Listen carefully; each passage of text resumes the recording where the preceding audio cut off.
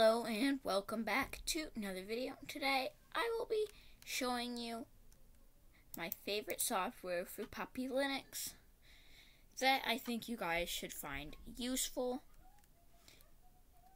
And you guys will just be able to install install them through the Puppy Package Manager. So you can click that. And you can see it pulls up right here. And now you want to go into the settings for this app. I want to go over here to update database. You want to just click update now. Now this should only take a few seconds. As you can see, it is going right along. Now, you guys may be thinking about a web browser. Well, what web browser should you use? Well, I don't think Pale Moon is really gonna cut it. It looks outdated, and I honestly hate it, especially their start page.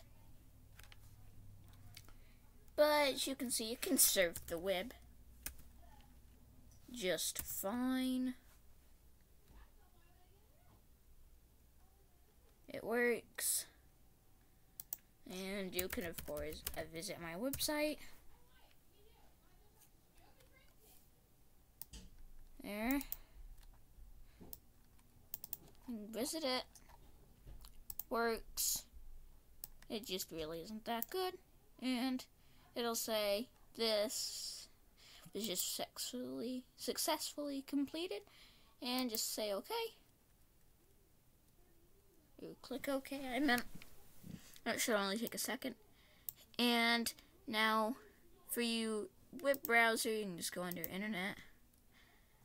And I honestly recommend Firefox.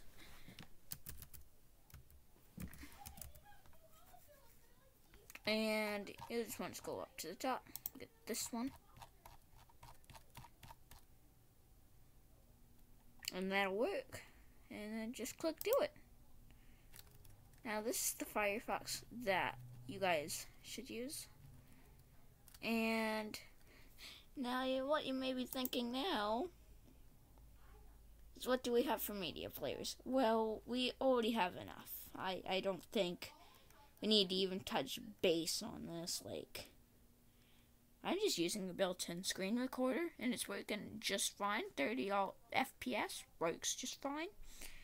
Business, well, we're gonna get some of that. And now document I recommend a LibreOffice, but it's a little bulky now, but it still works pretty well. So, yeah, let's get it. See how much storage I'm using here. Do you want to continue? Now, this is over a 150 megabyte download. Do you just want to click yes? Stable. Now, I do think that they do give you a few versions, but I'm going to go with the latest.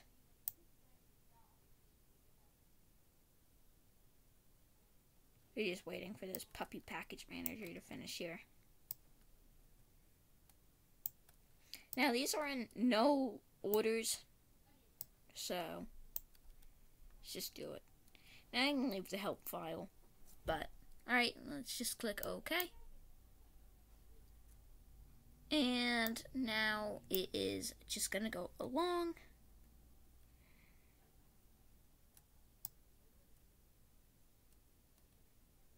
And we are just going to get it. Oh, it's just frozen here in the terminal. It looked like it was froze for a second, but it wasn't. No, this is fine. This is fine.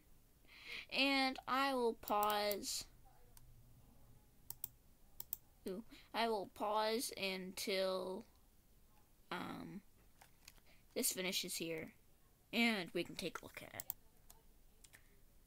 it. And now as you can see, this thing just popped up and it says that Firefox has just finished installing. So you can just click OK.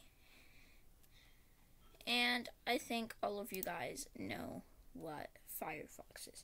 Just go over to the internet. You can click this, and sooner than later, you're gonna have your beautiful, just beautiful Firefox. And you can use it like normal. Go to Google.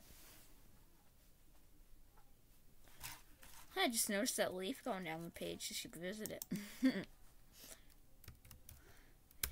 and you can, of course, visit my website on here. Now it works pretty well. So yeah, um, we're just gonna disable that. But it works. You can use it. You can like log in.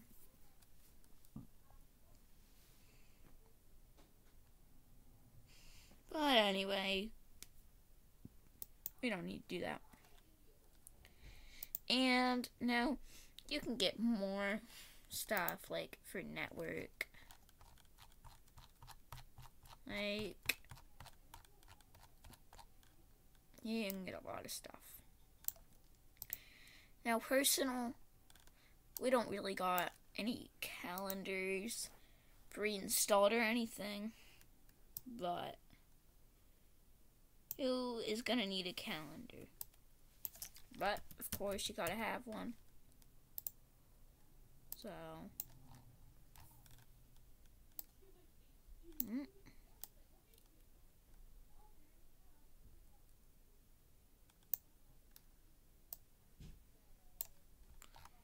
Um,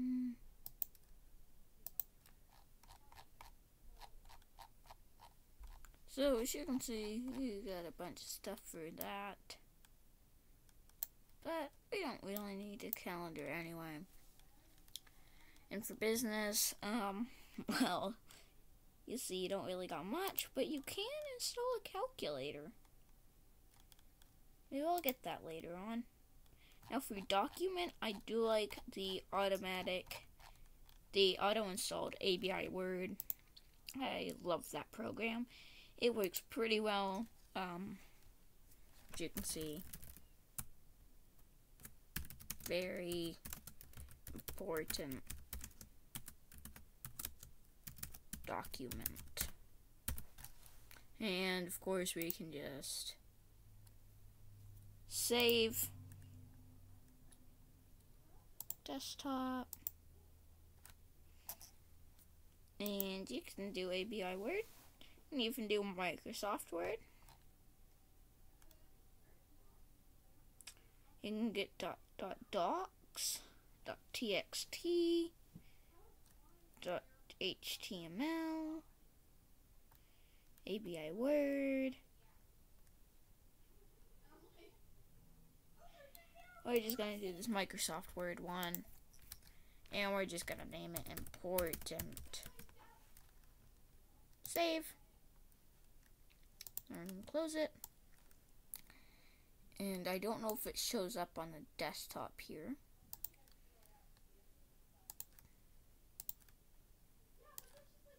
No. It isn't showing up, but I'm sure if you navigate over to the File Explorer and you said desktop, you got your very important document. It's pretty cool, it works. Now this is actually running off of a flash drive right now. It's on 2.0. And I am pretty impressed.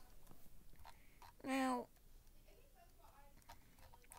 you I don't know if you can get um, OBS for this.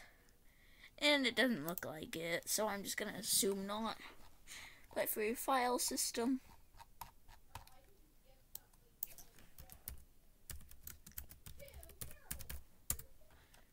don't know if you got a file explorer or just file. Hmm, it's frozen.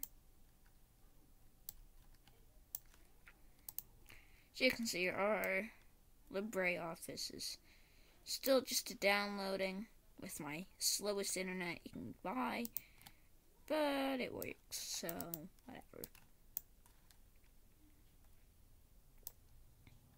Doesn't seem like it's working. I'm thinking. Let me just kill it. It that works, I guess.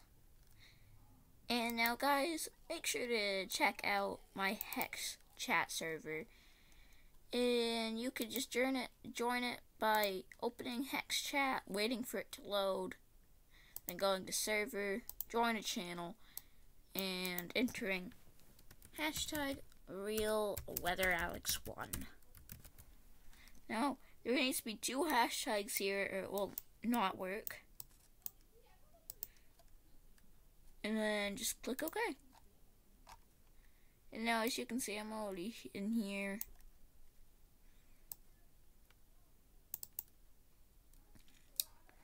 There's not many people in this server, but if you want to join, go right ahead. And then you guys can um, be here and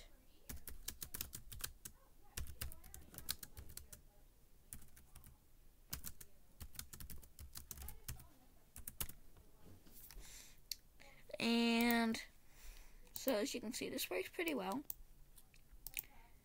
And I don't think you need anything here. So yeah they basically have everything covered. It works very well. Um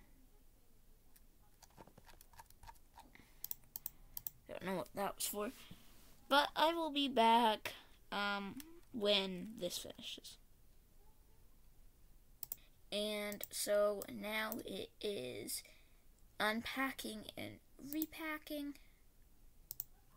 As you can see, it says please wait a while.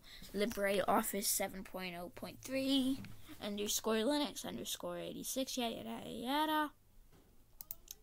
But it works. So here we are. We got ClipIt. So that's why I don't think we need anything. Like, what do you need?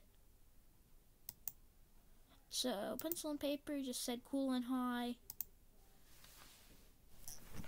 Now I'm just gonna say, you made it on a vid.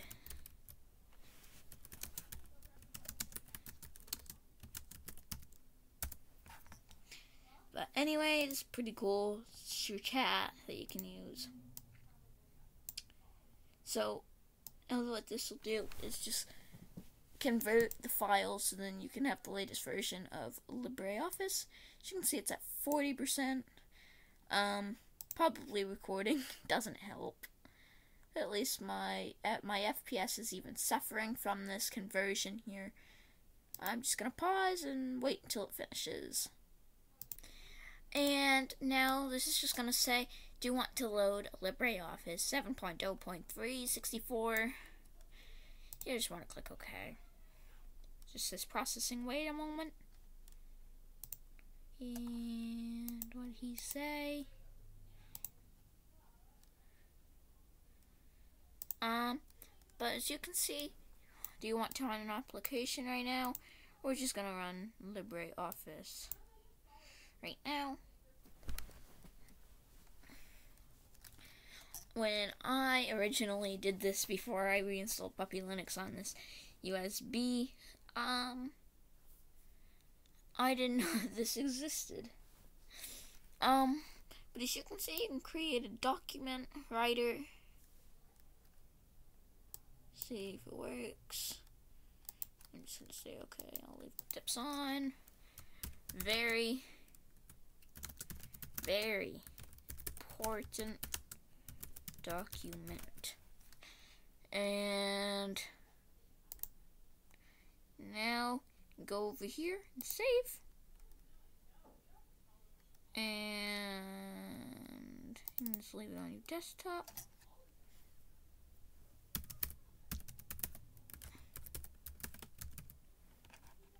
Um, oof. Didn't mean it right there right here. Important. Before I make a spelling error. That'll work. And as you can see, you can do you can save these as if you want. I'm going to do .docs. And we can even encrypt it, save with a password. Save. I'm just to say important